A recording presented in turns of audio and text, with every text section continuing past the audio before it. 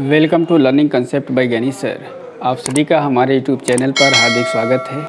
आज के इस क्लास में हम लोग बात करेंगे पिगमेंट के बारे में। अर्थात, एल्गी में कौन कौन से पिगमेंट पाए जाते हैं, उन सभी पिगमेंट की विस्तृत चर्चा करेंगे। पहले हम लोग इस बात पर चर्चा करें कि पिगमेंट किसे कहते हैं।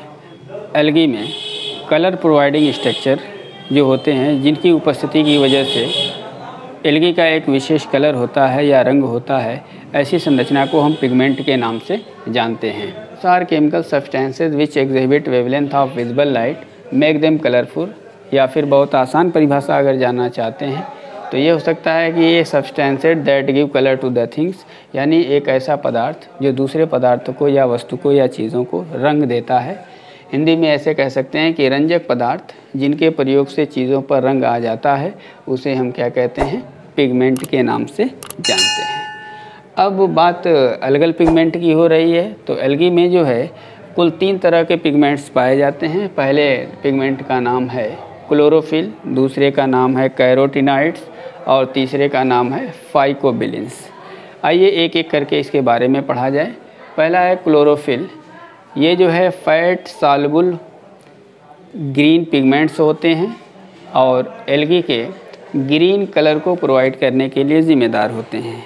तो ऐसे पिगमेंट जो फैट सालबुल हों एलगी को ग्रीन रंग प्रोवाइड करने के लिए रिस्पॉन्सिबल हों, उसे हम क्लोरोफिल कहेंगे। अब जो क्लोरोफिल होता है उसकी कुछ टाइप्स भी यहाँ दी गई हैं। जैसे पहला है क्लोरोफिल ए। ये जो है एल्गल की सभी ग्रुप्स में पाई जाती हैं। दूसरा है क्लोरोफिल बी, जो कि ग्रीन एल्गी में प्रजेंट होती है। तीसरा है क्लोरोफिल सी, ये आपके डाई एटम्स में मौजूद होती हैं। क्लोरोफिल डी रेड एल्गी में पाई जाती है। क्लोरोफिल ए जैंथोफाइसी जो क्लास का नाम है, इसमें पाए जाने वाली जो एल्गी होती हैं उनमें क्लोरोफिल ई पाई जाती है। क्लोरोफिल एफ़, जो कि रिसेंटली डिस्कवर्ड है, और ऐसा माना जाता है कि क्लोरोफिल एफ़ जो है, वो साइनोबैक्टीरिया के द्वारा प्रोड्यूस की जाती है। पहला था क्लोरोफिल, जिसके विभिन्न प्रकार के बारे में, और ये क्लोरोफिल के टाइप्स किस ग्रुप में या किस क्लास की एल्गी में पाई जाती हैं, ये हम लोग पढ़ लिए। अब हम दूसरे जो है पिगमेंट के बारे में बात करेंगे, जिसका नाम है कैरोटिनाइड्स जो कैरोटिनाइड्स होते हैं, ये आपके फैट सालबुल होते हैं। येलो पिगमेंट्स होते हैं, अर्थात इनका रंग जो होता है वो पीला होता है।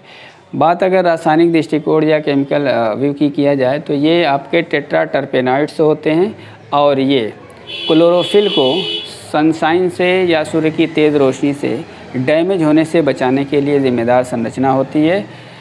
तो इसी विशेषता रखने वाले पिगमेंट कहलाते हैं कैरोटिनाइड्स अब जो कैरोटिनाइड्स होते हैं, ये सामान्य रूप से दो तरह के होते हैं। एक को कहा जाता है कैरोटीन दूसरे को कहा जाता है जैंथोफिल्स जो कैरोटीन होते हैं, इनका रंग जो होता है, येलो रंग होता है। ये अनसेचुरेटेड फैट सालबुल हाइड्रोकार्बन होते हैं और इनके अंदर ऑक्सीजन नहीं पाई जाती है। ये जो है ब्लू और ग्रीन जो है लाइट को एब्ज़ार्व करते हैं और येलो टू रेड के रूप में उसे ट्रांसमिट करते हैं। कैरोटीन इसका एग्ज़ाम्पल है। बीटा कैरोटीन और lycopene alpha carotene beta carotene और लाइकोपिन ये तीन के तीनों जो है आपके कैरोटीन के एग्जाम्पल्स होते हैं।